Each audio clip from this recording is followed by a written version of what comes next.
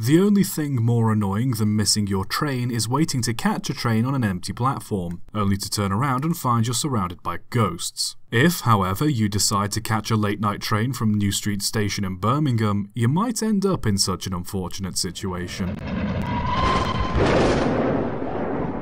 When the original station was being built in 1848, a Jewish cemetery needed to be dug up in order to make space for the station's foundations. If anyone listening understands the basics of the spirit world, shunting around corpses and messing in graveyards is not a very good idea. Because of this, many believe that the entire station building is cursed. The area has an air of unease about it, with the most chilling place being Platform 4. Throughout the years, four people have committed suicide in the station building, specifically on Platform 4. The first was a gentleman by the name of Claude, who poisoned himself around the Victorian period for unknown reasons. One of the most well-documented deaths took place around the late 1940s involving a former engine driver by the name of Walter Hartles, who, at the age of 68, shot himself in the chest in the waiting room after going through some messy marital issues. Along with those who have taken their own lives, a fatal collision happened in the station in 1921, killing three people. While most would simply call it a tragic accident, there are some more spiritual people who may believe it was the angry and disturbed spirits from the old graveyard getting a little payback. During the 60s, the station was rebuilt to look more modern, but after being branded as an eyesore in the early 2000s, it was rebuilt again to look more modern. Despite these changes, the ghosts of both Claude and Walter have still been seen around the station after dark, both wearing clothes that fit the era. Many people walking past the waiting room often say they see an old man sitting alone before he fades away.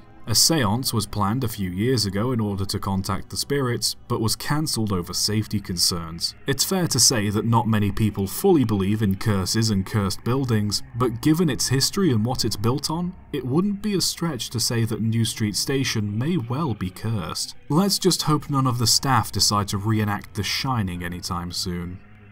Subscribe for more.